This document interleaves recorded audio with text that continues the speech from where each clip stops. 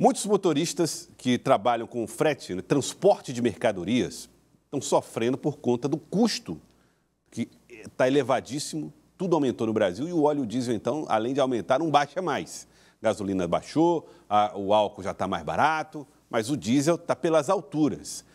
Isso, evidentemente, vai ser um dos elementos de um evento que acontece hoje para dar posse à, à nova diretoria de sindicato que trata dos assuntos da categoria. Gorete Santos uma ótima tarde para você. Essa pressão sobre o preço do transporte, evidentemente, faz com que aumente tudo nesse país, né? Boa tarde para você. Exatamente isso, né, Joel? O efeito é negativo e para todo mundo, para toda a população. Uma boa tarde para você, uma boa tarde a todos que acompanham o Jornal do Piauí. Bom, há um encontro importante hoje que em Teresina que reúne os representantes de sindicatos, também da Federação de Transporte, Transportadoras de Cargas de toda a região Nordeste. É também a posse da nova diretoria, sendo reempossado Humberto Lopes como presidente, né? Ele foi eleito por unanimidade, é hoje à noite esse encontro, mas esses presidentes de todo o Nordeste já se reúnem a partir agora ao meio-dia, devem traçar metas durante a tarde, finalizar essas discussões à noite, que é realmente preocupante. Nós estamos com o presidente do sindicato aqui no estado do Piauí, Humberto Lopes, também presidente nacional, na verdade, o presidente da Federação das Empresas Transportadoras Rodoviárias de Cargas da região Nordeste, Arlan Rodrigues. Nós vamos conversar, conversa, começar conversando com o Berto Lopes, né, dessa situação que é bastante preocupante. Inclusive, Joelson, um dado que choca todo mundo, a desistência de caminhoneiros da profissão. E aí o impacto a gente já sabe que é bastante desastroso. O que, que se tem, o que, que se deve decidir a partir de hoje, o que, que se busca?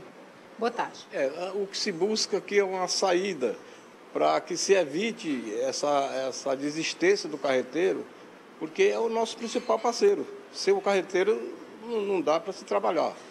E vive, nós vivemos hoje, tanto o carreteiro como as próprias empresas de transporte, num dilema, porque o óleo diesel não foi contemplado com essa redução do ICMS.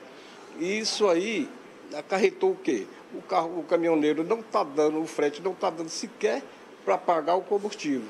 E com isso eles estão parando, eles estão seguindo para outra, outra profissão, eles estão vendendo um caminhão, o banco está tomando os caminhões porque não tem condição de pagar. É uma realidade que é pior do que uma greve. A situação ou se toma uma providência ou é pior do que uma greve. E esse é o motivo pelo qual o nosso, nosso presidente da nossa federação tem se preocupado muito em bater forte. Da próxima dia 5 vai ter uma reunião nacional, o CONET, intersindical, que também vai tratar muito sobre isso. É uma coisa que está tomando corpo e muita preocupação. Qual tem sido o efeito aqui no estado do Piauí? O estado do Piauí é efeito até pior, porque aqui a nossa carência de carga e retorno é grande. E nós temos caminhão que eu tive a oportunidade de conversar com o caminhoneiro, que ele está com um mês aqui parado. Porque ele não encontra o frete sequer para ele chegar ao destino. Porque não dá nem sequer para o combustível. Então é uma situação que a gente na verdade, está pedindo socorro, que as autoridades vejam o subsídio aí para óleo diesel, coisa dessa natureza, cabe ao governo federal, né? E a gente espera que venha alguma solução para que se, se estanque essa evasão do, do, dos carreteiros, que é, uma, é o, o Brasil vive sob rodas. Se caminhoneiro parar, o Brasil vai parar. A grande verdade é essa. Algo nunca visto, né? Uma diferença de aproximadamente R$ reais a mais o diesel em cima da gasolina, Joelson. É, a gente tem noção disso que causa um impacto muito grande, claro, no frete, consequentemente no preço de todos os produtos que chegam à nossa casa. A gente conversa, portanto, também Arlan Rodrigues, ele que é o presidente da Federação né, das Transportadoras aqui na região Nordeste. Seu Humberto já antecipou né, algumas das tratativas que devem ser feitas. A partir daí, o que, que se pretende para buscar de fato essa solução, essa solução que passa, claro, por uma conscientização, sei se seria essa palavra, em relação ao governo federal. Né? Boa tarde. Boa tarde, Gorete. Boa tarde, Joel, senhores telespectadores da TV Cidade Verde. Veja, é, esse, esse é um debate efetivamente que está sendo a nossa primeira pauta a nível nacional. A gente sabe que não é um problema localizado aqui no Nordeste e por isso a gente tem, junto à nossa Confederação Nacional dos Transportes, pautado esse tema, a Confederação tem pautado, junto às autoridades governamentais, que a quem efetivamente compete, principalmente a Petrobras, a quem efetivamente compete a regulação, a definição dos preços dos combustíveis. A gente entende também que isso é um problema que não é localizado somente aqui no Brasil. A gente entende que são commodities e as commodities têm movimentos mundiais.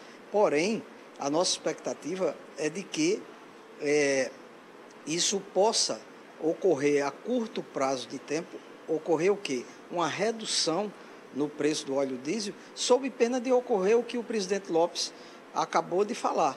Há um, uma, uma, uma, um êxodo, uma retirada imensa de caminhoneiros do setor. Por quê? Porque a conta não fecha mais. Ah, Para que o, o, o telespectador tenha uma ideia, uma conta simples do combustível seria um peso de 25 a 30, no máximo 35%. Hoje, esse combustível ele está significando até 70% do custo. Do, ou seja, se o caminhoneiro recebe 1.700 reais, fica para o custo somente de óleo diesel. E os demais custos? Pneus, peças, manutenção, enfim, a conta efetivamente não está fechando. Então, a gente é, também aqui no Piauí, no momento em que viemos abraçar e, e, e, dar, e, e parabenizar a nova diretoria do sindicato através do, do presidente Lopes, que vai tomar posse logo mais à noite, mas ao mesmo tempo pautar esse tema também no sentido de que o Nordeste também seja uníssono nessa reivindicação ao governo federal e nós juntos, através da federação, obviamente, nós temos muita força para levar esse pleito. Então, há uma expectativa já é, anunciada e que deve ser brevemente anunciada de que aconteça uma redução em torno de 70 centavos. O que é que significa isso? Algo em torno de 10%.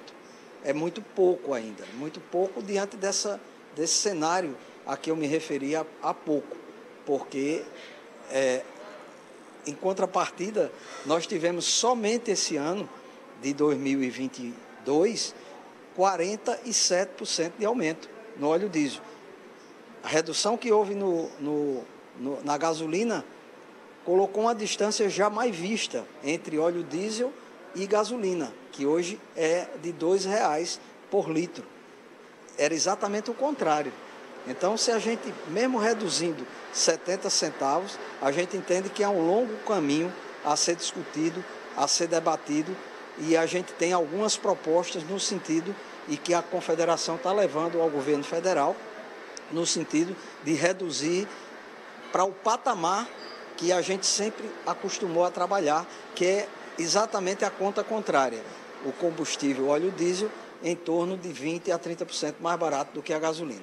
Quero agradecer, então, o presidente né, da Federação das Transportadoras de Cargas da região Nordeste, Arlan Rodrigues, também o presidente do sindicato aqui no estado do Piauí, Humberto Lopes, sendo reforçado hoje à noite, tratando dessa questão, né, Joel, que é imprescindível não só para o segmento deles, como a gente já falava, é algo que acaba impactando na vida de todo brasileiro. Afinal, a gente sabe que tudo que chega, praticamente tudo, às nossas casas, né, vem pela malha rodoviária. É um Brasil que é feito tudo sobre rodovias. Né? E aí, claro, esse preço do diesel nas alturas acaba interferindo no orçamento de todo mundo. Joelson. Obrigado, Gorete. Muito obrigado a vocês. Obrigado pela participação aqui no Jornal do Piauí, discutindo esse assunto tão complicado, tão difícil para os brasileiros, que eleva tão fortemente a inflação nesse país.